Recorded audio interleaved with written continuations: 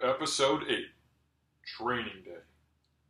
Sully and Mike are implementing the new training program to help staff overcome the required changes for a bigger and brighter tomorrow.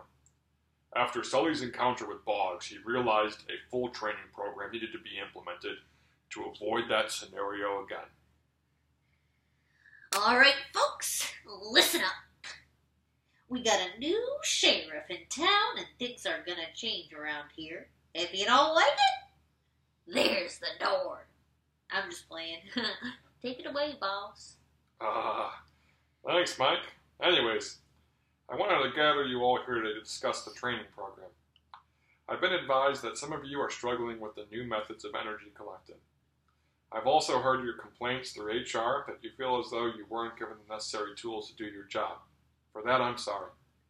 I wanted to advise you all that there will be a new training program being put place effective immediately. I will be coordinating with your managers on times of our training courses.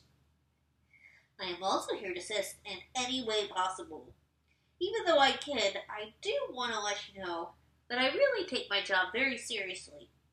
And as your floor manager, I want to make sure that you are all successful at your jobs, and that you all feel secure with your ability to do your job right. That responsibility falls on all of us here at upper management. You can always come to me with any discrepancies. I maintain an open door policy, just like Saul. Sully is excited about the new training program. He believes the implementation of this will only be, bring upon higher employee and customer satisfaction. Yay.